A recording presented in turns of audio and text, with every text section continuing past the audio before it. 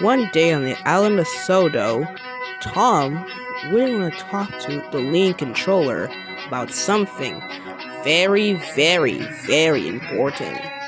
So, what's the big secret? asked Tom. You see, Tom, I have to say that you're gonna have to retire. Why? Because I brought a new engine today.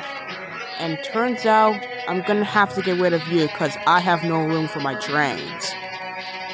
Does that mean I'm not doing a really great job, sir? Tom asked. I'm just kidding, said the Wing Controller. I was actually going to give you a very, very special surprise. Oh boy, a surprise! This is the best day ever, said Tom in glee.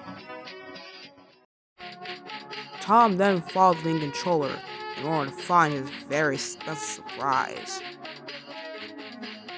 Then, the lean controller took Tom to a very abandoned shed. Then, there was a weird looking portal. Um, sir, what kind of portal is this? This is the portal to the underworld, Tom. You'll be taken here forever. You'll be happier this way. Everyone and I will controller then pushed and Tom went down to the portal dead.